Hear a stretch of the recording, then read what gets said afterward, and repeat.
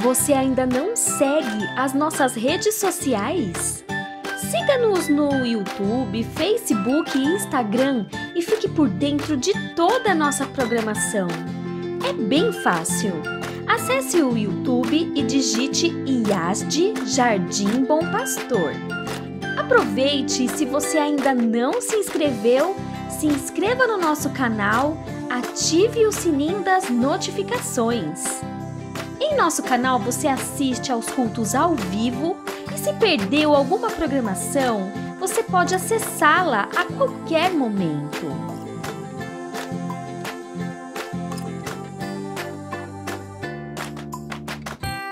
Aproveite e já dê o seu like e compartilhe esta transmissão para que mais corações sejam alcançados para Jesus. Agora, se sua rede social preferida for o Facebook, você também pode nos acessar. É só entrar no Facebook, digitar IASD Jardim Bom Pastor e pronto! Aproveita e já curte a nossa página. Você também pode nos enviar sua mensagem através do WhatsApp. Basta acessar o botão WhatsApp e você será direcionado para o nosso WhatsApp. Olha que facilidade! Você pode falar o que quiser. Você pode fazer um pedido de oração, um agradecimento, enviar as suas dúvidas, enfim temos uma equipe de interação totalmente preparada para interagir com você. Curta, comente, compartilhe em nossos canais. A sua interação é muito importante para nós. É a tecnologia a serviço do Senhor.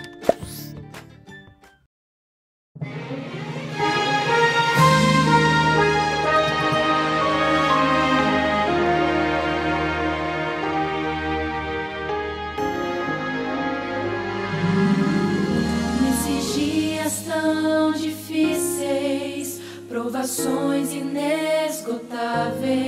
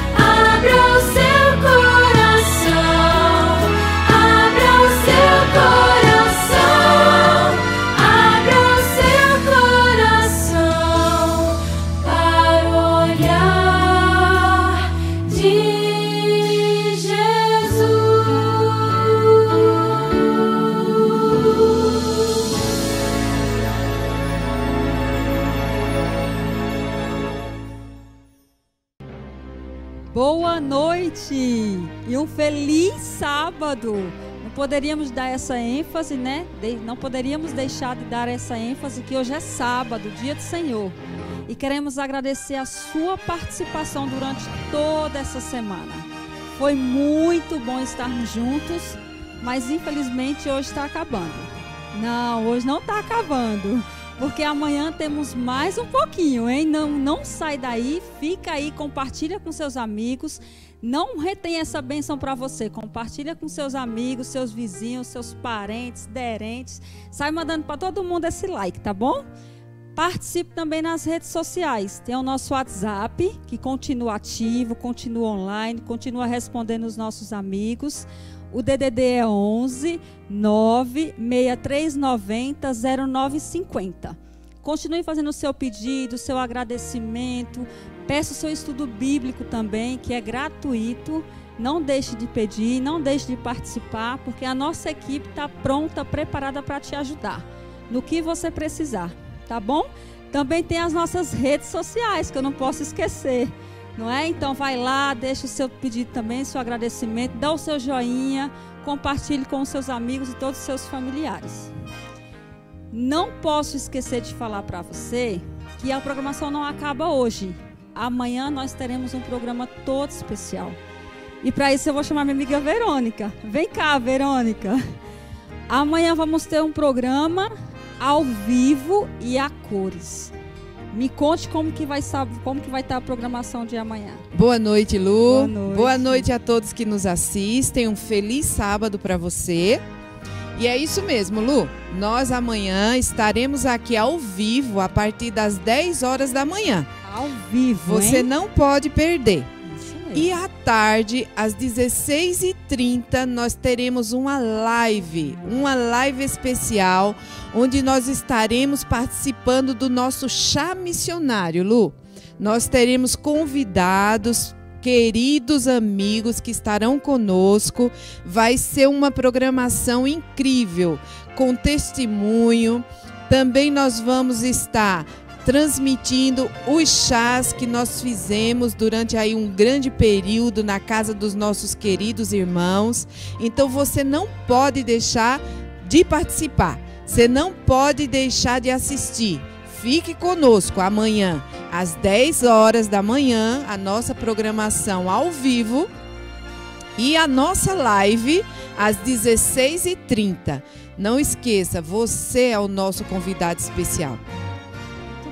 E o legal é que você pode participar conosco amanhã pelo chat, então já vai se preparando, já vai se organizando. Se você porventura tiver algum compromisso, deixa para depois. 10 horas você está convidado, intimado a estar conosco, tá?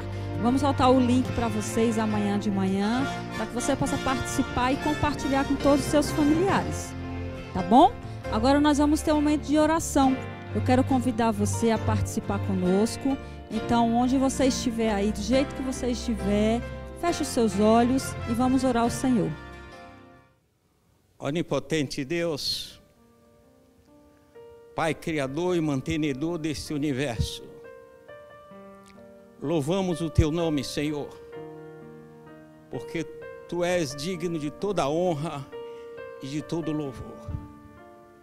Queremos pedir a Tua presença em nossa vida em nossos lares.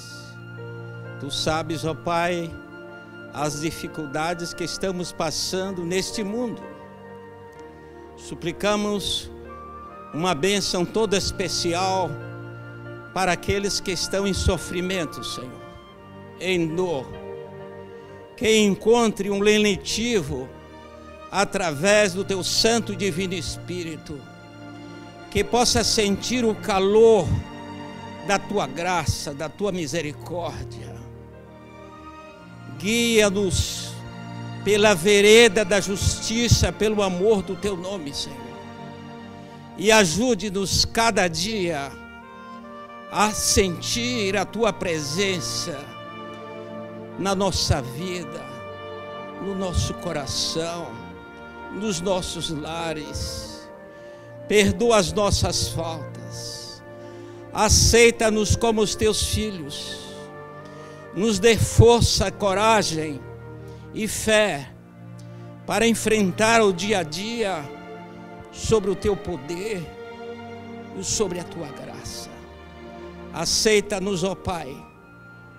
Aceita-nos como os teus filhos. Se com cada lar aqui representado neste momento, que possam receber as bênçãos de que tanto necessitam e que através do teu santo divino espírito possa viver uma vida de paz, de amor, de alegria e de esperança.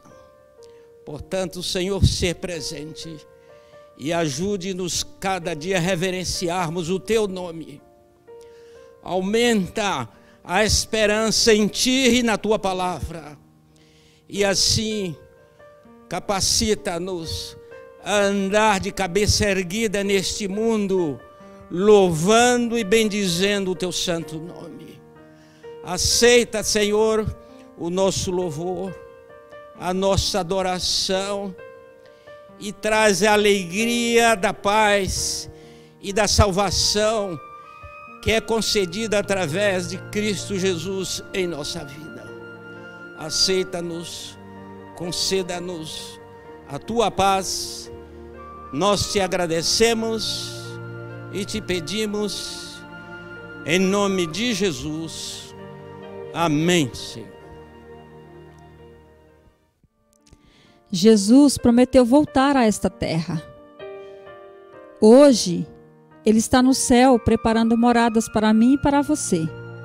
A minha pergunta é: você está preparado? Eu estou preparada?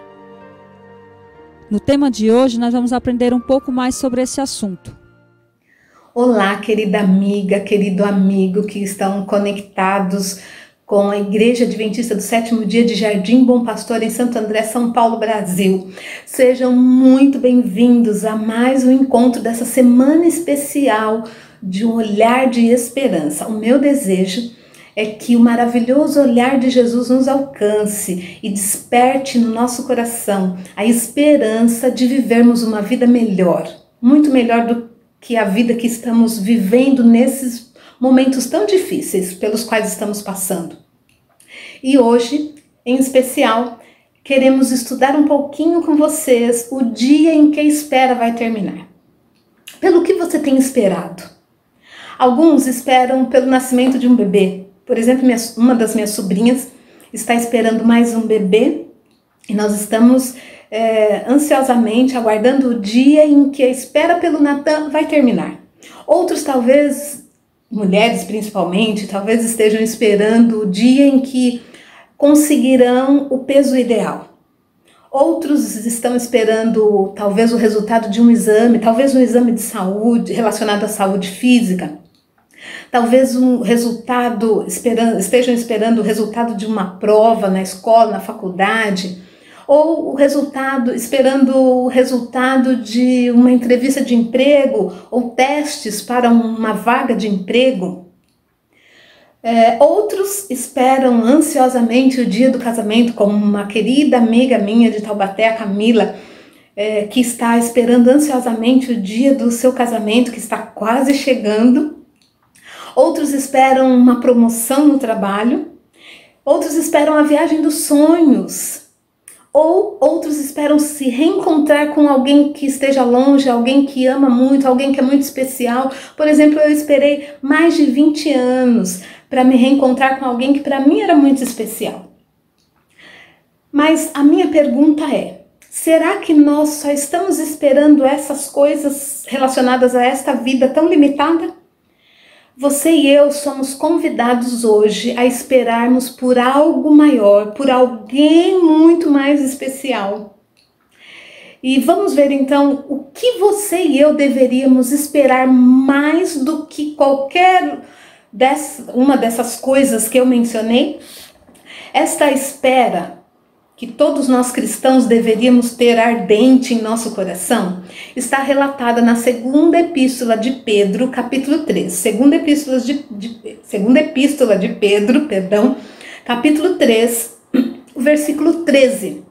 Diz assim: Nós, você e eu, estejam bem atentos. Nós, porém, segundo a sua promessa, isto é, a promessa de Cristo Jesus, a promessa que Cristo Jesus fez de voltar um dia a este mundo para nos levar para morarmos com Ele por toda a eternidade. Esperamos, nós, porém, segundo a sua promessa, esperamos novos céus e nova terra nos quais habita justiça. E é interessante que a respeito dessa espera, Jesus nos alertou de algo assim que me intriga bastante. Eu gostaria de ver com vocês no Evangelho de Mateus, capítulo 24, Evangelho de Mateus, capítulo 24, versículos 37 a 39, que nos diz assim: Pois assim como foi nos dias de Noé, também será a vinda do filho do homem. Porquanto, assim como nos dias anteriores ao dilúvio, comiam e bebiam, casavam e davam-se em casamento, até o dia em que Noé entrou na arca, e não perceberam, senão quando veio o dilúvio e os levou a todos. Assim será também a vinda do filho do homem. O que, que a Bíblia diz? Parando aqui. Que o próprio Jesus alertou a multidão que o ouvia naquele momento e alerta você e a mim de que nos dias que antecederiam ao cumprimento da promessa da segunda vinda dele, as pessoas, nós, que nós cremos que ele virá nos nossos dias, nós estaríamos vivendo como os antediluvianos. É, ouvíamos, os antediluvianos ouviam a pregação de Noé, ouviam sobre o dilúvio, sobre um tempo de graça, sobre um tempo de juízo, sobre a providência de Deus em escolher Noé para construir uma arca que iria protegê-los da destruição do mal. E eles nem se aperceberam até que o dia chegou a espera terminou e eles morreram, eles não foram salvos dentro da arca. É, eu gostaria de hoje reservar um tempo com vocês para analisarmos um pouquinho algumas características desse tempo que Jesus mencionou, do tempo que antecedeu ao dilúvio, e compararmos com o tempo em que nós estamos vivendo, que antecede a volta de Jesus. É, só lembrando que é interessante notarmos lá no capítulo, nos capítulos 6 a 9 de Gênesis, fica aqui de lição de casa. Se você não ainda não conhece a história sobre Noé, sobre o dilúvio, vale a pena você reservar um tempo nessa, nessa semana ainda e estudar com calma todos os detalhes, analisar todos os detalhes relatados na palavra do Senhor, em Gênesis capítulo 6 até o 9, sobre este evento de graça e de juízo que Deus é, derramou sobre o povo. Mas é, esses, os textos da palavra de Deus, por exemplo, em Gênesis capítulo 6, versículo 3, Gênesis capítulo 7, versículos 6 e 11, nos diz que Deus deu um recado, deu uma promessa, deu um alerta para Noé quando ele tinha quase 500 anos. Você pode falar, Sandra, 500 anos? É, exatamente, muito tempo, não é isso? Pois é. Só que é, até que se cumprisse essa promessa de juízo e de graça, se passaram 120 anos. Nesse, diz capítulo 6, versículo 22, se você quiser conferir, capítulo 7, versículo 5, nós entendemos que por inferência, que o tempo em que Noé esteve anunciando, proclamando esse tempo de graça, foi num período de 120 anos. Durante esse período, ele foi pregando, ele obedeceu ao que Deus havia pedido para ele. Ele se encheu de esperança e proclamou essa ação divina. E eu fico imaginando que a porque Deus pediu para ele construir uma arca. Vamos ver? No capítulo 6, versículo 14, diz assim, de Gênesis. Capítulo 6, versículo 14. Olha o que deu, qual foi a ordem divina. Faça uma arca de tábuas de ciprestes, nela farás compartimentos e a calefa, calafetarás com betume por dentro e por fora. E daí foi dando mais detalhes do, sobre a arca. Por que, que Deus é, pediu isso? Porque a maldade, o pecado estava tão alastrado que Deus falou: não, preciso pôr um basta. Não dá para vocês continuarem vivendo essa vida do jeito que estão. E, e eu tenho uma solução. Eu vou dar uma limpada aí nesse mal, mas quem quiser viver uma vida diferente, uma vida melhor, aceita, aceita a mensagem de graça, de juízo de salvação através da arca.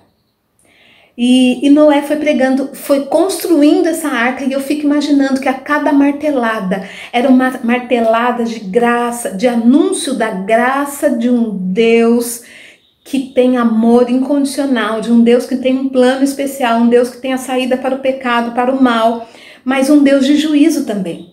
Então, as marteladas, aqueles pregos anunciavam que existia um Deus que estava vendo este mal, o, o, alastrar deste mal, a multiplicação desse mal e que ele não estava satisfeito com isso e que colocaria um fim, um basta. Então, a cada martelada, a cada prego que Noé batia, anunciava um Deus de amor, de graça, mas um Deus de juízo também. É, que história, que história. Então ele fez um pedido: faça uma arca. Essa, esse pedido era sinônimo da graça de Cristo, isto é, a construção da arca. A arca, na verdade, podemos dizer assim, que ela representava a graça de Cristo para aqueles que aceitassem a mensagem que Noé estava pregando. Mas daí, no capítulo 7, versículo 1, olha que lindo, chegou o dia em que Deus disse o seguinte para Noé: Noé, entra na capítulo 7, versículo 1. Entra na arca tu e toda a tua casa, porque reconheço que tem sido justo diante de mim no meio dessa geração corrompida. Ai, que lindo. Eu fico imaginando a ansiedade, a alegria, a satisfação de Noé ao perceber que valeu a pena a espera. Chegou o momento que Deus falou: a arca está pronta, o dia está chegando, agora entra na arca. Receba a totalidade da minha graça, receba essa salvação, porque o dilúvio virá. E diz o relato bíblico que nos versículos 13 a, a 16, que entraram os animais, entraram, assim, diz assim, ó, começa assim o versículo 13. Nesse mesmo dia entraram na arca Noé, seus filhos, Sem, Cão, Jafé, sua mulher e as mulheres de seus filhos. E daí fala dos animais que entraram para preservar as, as espécies também. E daí encerra assim, no versículo 16. Co entraram todos como Deus lhe havia ordenado, e o Senhor fechou a porta depois deles. Queridos, isso me impressiona demais. Quando Deus disse, Noé, entra você e a sua família na arca, entra você com a sua família. Diz o relato bíblico que no mesmo dia ele entrou. Não estava assim diante deles um dilúvio. O dilúvio ia chegar, não tinha nenhuma nuvem escura, mas ele cria que a palavra de Deus era fiel e verdadeira. Então ele sabia que uma grande tempestade, uma grande inundação estava para chegar. Então, o que, que ele tinha que fazer? Entrar na arca, ele e a família. E eles entraram, não ficaram esperando, não. Senhor, é para entrar, vamos entrar. E os animais que Deus chamou também entraram, também obedeceram. Animais irracionais. Obedeceram ao, ao chamado, ao convite de Deus para entrar na arca. Que coisa fantástica. Nossa, é extraordinária essa história. É, porém, quando eles entraram, Diz o relato bíblico que o Senhor fechou a porta. essa ação de Deus e não de Noé em fechar a porta, não foi Noé que fechou a porta, foi Deus que fechou a porta. essa ação divina me diz que é, Deus é um Deus justo e que um, vai chegar um dia em que não haverá mais tempo, não haverá uma segunda chance. Então, até aquele momento em que a porta da arca estava aberta, era o tempo dos antediluvianos crerem na promessa de que o juízo de Deus viria, mas a graça dele estava estendida através daquela arca, da construção daquela arca, daquele, daquela grande embarcação. E diz o relato bíblico que o dilúvio chegou depois de alguns de sete dias, o dilúvio chegou e realmente só Noé e sua família se salvaram. Por quê? Porque aqueles que ouviram a mensagem que Noé pregava rejeitaram e não se aperceberam que tinha fidelidade naquelas palavras, tinha verdade naquelas palavras.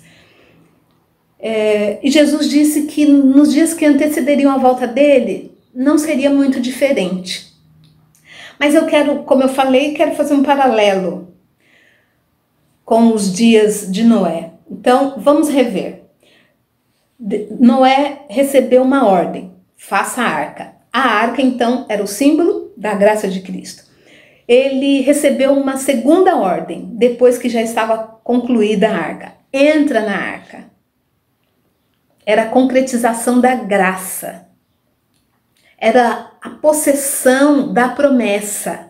Era a certeza de que ele, ele e a família estavam salvos. Mas Deus fechou a porta da arca. Era a prova de que Deus era um Deus de juízo também. Daí, quero ir com vocês para o Evangelho de João. Evangelho de João, Jesus, o próprio Jesus, quando esteve aqui na terra, ele fez uma promessa. E ele disse que iria construir alguma coisa também. Vamos ver? Capítulo 14 do Evangelho de João, do versículo 1 ao 3. Muito conhecidos nossos Diz assim: Não se turbe o vosso coração. Credes em Deus, crede também em mim. Na casa de meu pai há muitas moradas. Se assim não fora, eu vou-lo teria dito, pois vou preparar-vos lugar. E quando eu for e vos preparar lugar, voltarei e vos recebereis para mim mesmo, para que onde eu estou estejais vós também. Jesus, ele disse assim: Olha, assim como Noé recebeu a ordem de construir uma arca, eu vou voltar para o céu, não permanecerei aqui na terra. Para quê? Para que eu construa moradas. Pra, porque eu quero que vocês sejam salvos desse mundo mal, desse mundo cheio de pecado, cheio de dor, de sofrimento, de morte, de perdas. Quantas perdas, meus queridos, nós tivemos nesse um, um pouco mais de um ano de pandemia? Quantas notícias ruins eu tenho recebido diariamente pelas redes sociais. Eu não aguento mais. Você aguenta esse mundo do jeito que está? Eu fico imaginando a tristeza de Deus, porque Ele olha para o nosso sofrimento, para a sua dor, para o seu sofrimento, para a sua dor, para a sua angústia.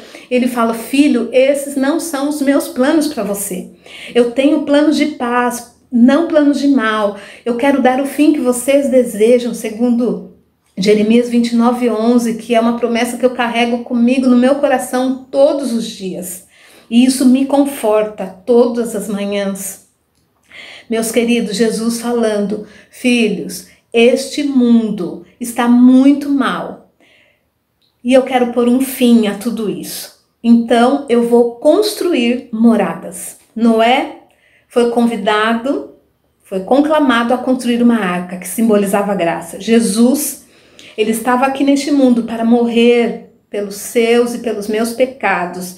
A cada prego, cada marca, cada martelada que Jesus recebeu era sinal da graça dele sobre nós, nos dando oportunidade de vivermos essa promessa que ele fez aos discípulos e faz a você e a mim, de construir moradas para que você e eu estejamos com ele em novos céus, nova terra, onde habita justiça e onde tudo será novo.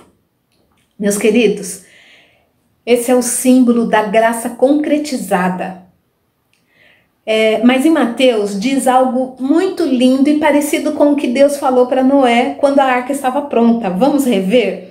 No Evangelho de Mateus também, só que capítulo 25. É, aqui revela o dia em que a espera pela promessa de Jesus vai terminar. O dia em que essa espera vai acabar. Capítulo 25, versículo 31 a 34 diz assim: quando vier o Filho do Homem na sua majestade, todos os anjos com ele, então se assentará no trono da sua glória, e todas as nações serão reunidas em sua presença, e ele separará uns dos outros, como o pastor separa dos cabritos as ovelhas, e porá as ovelhas à sua direita, mas os cabritos à esquerda.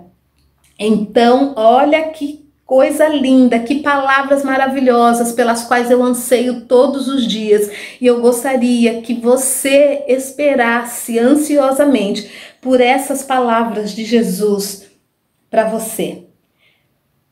Então dirá o rei aos que estiverem à sua direita: Vinde, benditos de meu Pai, entrai na posse do reino que vos está preparado desde a fundação do mundo. Assim como Deus falou para Noé: Noé, entra na arca, você e a tua família. Jesus, um dia, vai falar para você e para mim. Eu gostaria de que não só eu ouvisse essas palavras, mas que a minha família, os meus amigos, as pessoas que eu amo, ouvissem essas mesmas palavras.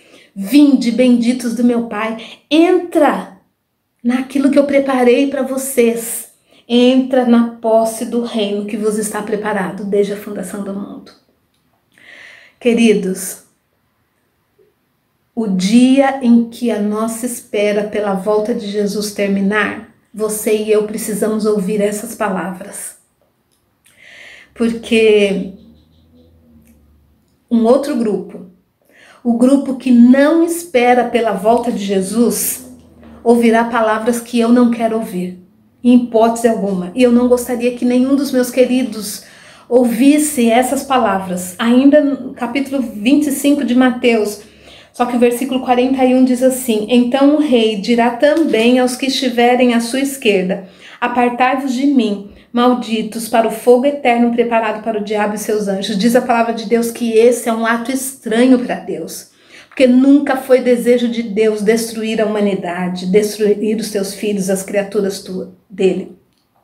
Porém, as nossas escolhas podem dizer para Deus que nós não queremos a salvação. As, no as nossas escolhas hoje podem determinar o nosso futuro. Elas determinam o nosso futuro.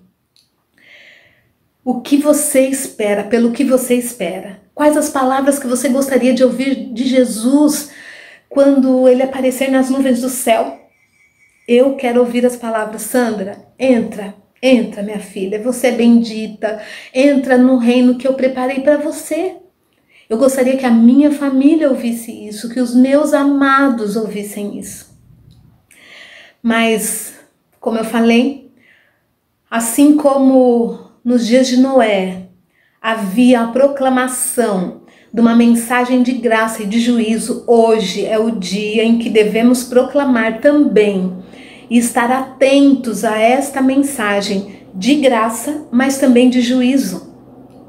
É, só para reforçar que também é uma mensagem de juízo, o livro de Apocalipse nos recorda o momento semelhante àquele momento em que Deus fechou a porta da arca, dizendo: não há mais chance.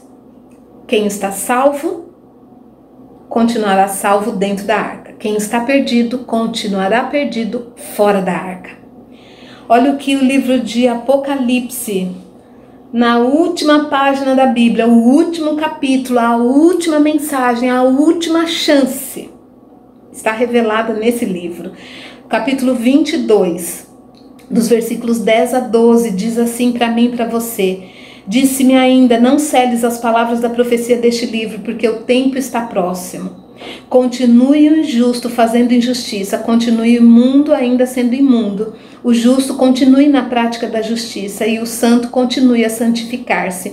E eis que venho sem demora, e comigo está o galardão que tenho para retribuir a cada um segundo as suas obras. Queridos, Jesus está voltando para nos dar uma herança. Para aqueles que creram na promessa, que aceitaram a graça salvadora de Jesus, ele tem as palavras: entra no reino que eu preparei para você. Mas para aqueles que rejeitaram, que duvidaram, que não quiseram aceitar a graça salvadora, ele tem recompensas de morte eterna. E diz esse texto que nós acabamos de ler, que este é o momento semelhante a que esse será o momento semelhante àquele que Deus fechou a porta da arca. Este momento que o livro de Apocalipse, através do apóstolo João, relata que Deus vai pôr um baça e falar: está feito por completo o plano da salvação. Agora a porta da graça, não da arca, mas a porta da graça está fechada para sempre. A partir de agora, aqueles que aceitarem já estão salvos e vão entrar na posse do reino. Aqueles que rejeitaram já estão perdidos. Então não faz mais diferença a sua escolha, porque você já fez a sua escolha.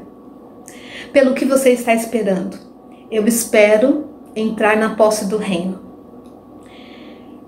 E você? Ai, que reencontro será aquele? Queridos, o que receberemos nesse novo encontro? Mudança de vida para todo sempre. Como eu disse no início, eu esperei me reencontrar com alguém muito especial para mim por mais de 20 anos. Estava longe do Brasil, mas um dia eu recebi as boas novas de que ele viria ao Brasil. Desde o dia que eu soube dessas boas novas, eu comecei a esperar ansiosamente por esse reencontro. Eu contava, queridos, os meses. Quando foi se aproximando, eu comecei a contar as semanas. Eu comecei a contar os dias. Eu comecei a contar as horas. Eu comecei a contar os minutos do momento em que a minha espera por, por esse alguém tão especial iria terminar. Eu me lembro que eu me preparei para esse dia, para esse momento. E eu antes que o voo pousasse no aeroporto de Guarulhos, no dia 27 de outubro de 2018, eu já estava lá eu já estava preparada, porque eu não queria perder aquele reencontro. E aquele reencontro mudou a minha vida para sempre. Mudou para sempre a minha vida. Eu gostaria de falar para você que assim eu não consigo descrever o que eu senti naquele reencontro. Era muita alegria, era um alívio por ter esperado tanto tempo. Era algo que transbordava no meu olhar, transbordava no meu sorriso, transbordava a minha vida, dizia que valeu a pena esperar. Porém, não, o que eu senti naquele dia nem se compara. Eu tenho certeza que nem se compara ao que iremos sentir por toda a eternidade, ao que iremos viver por toda a eternidade, quando nos reencontrarmos com Cristo Jesus, aquele que por quem estamos esperando. É, o livro de Apocalipse, capítulo 21, os cinco primeiros versículos nos dizem de algumas coisas, apenas algumas coisas, porque João não conseguia, não conseguiu é, descrever tudo o que ele viu que está prometido para você e para mim. Ele diz assim: Vi novo céu e nova terra. Lembra o que nós estamos esperando? Nós estamos esperando novos céus e nova terra, nos quais habita justiça. E João teve o privilégio de ver antecipadamente o que nós estamos esperando. E olha como ele descreve: Vi novo céu e nova terra, pois o primeiro céu e a primeira terra passaram. E o mar já não existe. Vi também a cidade santa, a nova Jerusalém, que descia do céu, da parte de Deus, ataviada como noiva adornada para o seu esposo. Então ouvi grande voz vinda do trono dizendo: Eis o tabernáculo de Deus com os homens, Deus habitará com eles. Eles serão povos de Deus, e Deus mesmo estará com eles. Eles enxugará dos olhos toda lágrima. O quanto você tem é, chorado nesses últimos meses, nesses últimos anos, nesses últimos dias. A promessa é de que nesse, a partir desse reencontro pelo qual nós estamos esperando, toda lágrima vai ser enxuta dos nossos olhos. E a morte, quantos queridos se foram? A morte já não vai mais existir. Já não haverá luto, nem pranto, nem dor, porque as primeiras coisas passaram. E aquele que está sentado no trono disse: Eis que faço novas todas as coisas. E acrescentou: Escreve, porque essas palavras são fiéis e verdadeiras. Queridos, essa é a promessa. E quem prometeu nunca falhou e jamais falhará. Então ela é fiel e verdadeira. Querido, pelo que você vai esperar a partir de hoje? Você vai continuar esperando apenas por coisas materiais? As boas novas de hoje, a mensagem de esperança de hoje é que Jesus tem algo muito melhor para oferecer para você, aqui neste mundo, mas principalmente no mundo por vir, na eternidade, que está quase para acontecer. Esse dia tão esperado por aqueles que creem na promessa está para chegar. Essa espera vai terminar. E você e eu poderemos ouvir de Jesus: entra, querida, entra, querido, para o reino que eu preparei para você. Você quer ouvir essas palavras de Jesus? Você quer parar de esperar e entrar na posse do reino? Você quer viver a partir de hoje essa esperança ardente no seu coração e anunciar para a sua família, para os seus colegas de trabalho, para os seus vizinhos, amigos, para as pessoas que você ama? Você e eu estamos sendo convidados a crermos na promessa como Noé creu, mas também a compartilharmos dessa esperança, a sermos o olhar de esperança, aquele olhar que Jesus nos olha, aquele olhar de esperança, de salvação para você e para mim. Nós também somos convidados a sermos o olhar de esperança, de salvação para as pessoas ao nosso redor. Nós ouviremos agora uma música muito especial eu gostaria que você refletisse no que você tem esperado e no que você quer esperar a partir de hoje. E depois eu volto com vocês para orar por você, orar pela sua família, orar por mim, para que nada nos impeça de ouvirmos as palavras de Jesus. Venha, filho, entra no reino que eu preparei para você.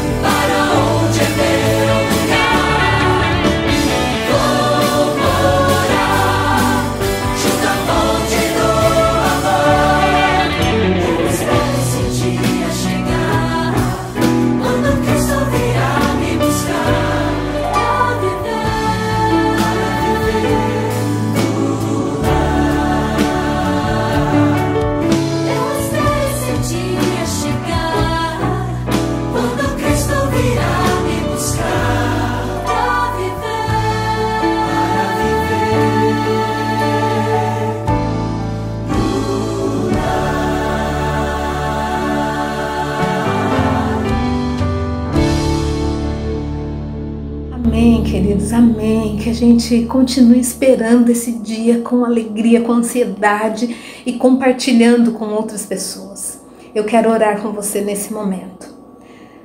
Grande e poderoso Deus, Pai querido, Deus eterno, nós te agradecemos porque o teu amor nos alcança e nos dá a esperança de que um dia não choraremos mais, não passaremos pela morte, não perderemos nossos queridos, que toda nossa lágrima vai ser enxugada. E moraremos num lar onde haverá justiça para todos sempre. Não haverá mais mal nem pecado algum, Pai. Muito obrigada, porque o Senhor tem um plano de solução para este mundo mal, para minha vida má, para minha vida de pecado, para a vida de pecado desses queridos que estão conectados conosco hoje, Pai. Querido Deus, nosso coração está tão pesaroso por tudo que temos vivenciado nesses últimos anos, nesses, nesses últimos meses. Nós não aguentamos mais, Pai, tanta dor, tanto mal. Por favor, Senhor, nos tire daqui, nos dê um novo lar. Nós queremos ouvir de Cristo Jesus. Querido, querida, entra no reino que eu preparei para você mas sabemos que algumas escolhas que temos feito até aqui nos impedem de ouvirmos estas palavras de Jesus quando a espera terminar, quando ele aparecer nas nuvens do céu. Então eu te rogo, Pai, perdão pelos nossos pecados, pelas nossas más escolhas. E nos revista da tua misericórdia, da tua graça salvadora. E nos ajude enquanto esperamos por esse dia chegar que o teu Santo Espírito nos prepare, molde a nossa vida, conserta, Pai, tudo que precisa ser consertado, endireita as nossas veredas, para que nada nos impeça de entrarmos na posse do reino que o Senhor preparou para nós. Por favor, Senhor, atenda as necessidades desses teus filhos que clamam por ti, Pai, que clamam por saúde física, por saúde espiritual, que clamam por emprego, por melhores condições de moradia. Por favor, Senhor, cuide desses teus filhos, mas acima de tudo, nos dê fé inabalável, nos dê a certeza de salvação pelos méritos únicos e exclusivos de Cristo Jesus. Pai querido, eu te rogo que os teus anjos protetores sejam diariamente os nossos companheiros, que o teu Santo Espírito nos conforte, nos console a cada perda, Pai, para que nada roube de nós a esperança desse dia que está muito perto de chegar, onde iremos viver num novo lar para todos sempre com Cristo Jesus. Dá-nos esta graça, Pai, dá-nos esse privilégio por favor, Senhor, atenda a nossa prece, não porque tem algo bom em nós, mas única e exclusivamente pelos méritos e pelo poder de Cristo Jesus, nosso Senhor, é que te rogamos. Amém.